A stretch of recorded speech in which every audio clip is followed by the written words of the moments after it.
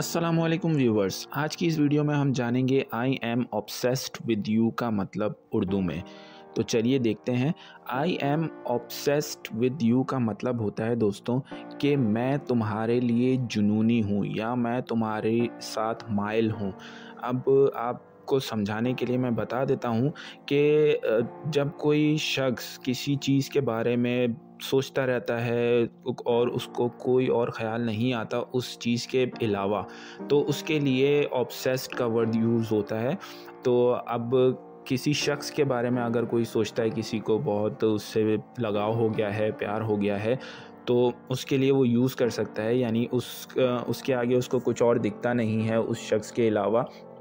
और उसके उसके अलावा किसी और के बारे में वो सोचता नहीं है बहुत जुनूनी हो जाता है तो इसके लिए यूज़ करते हैं I am obsessed with you तो उम्मीद है दोस्तों, आपको समझ में आ गया होगा। अगर ये वीडियो पसंद आई हो तो लाइक ज़रूर कीजिएगा और हमारे चैनल को सब्सक्राइब ज़रूर कर दें।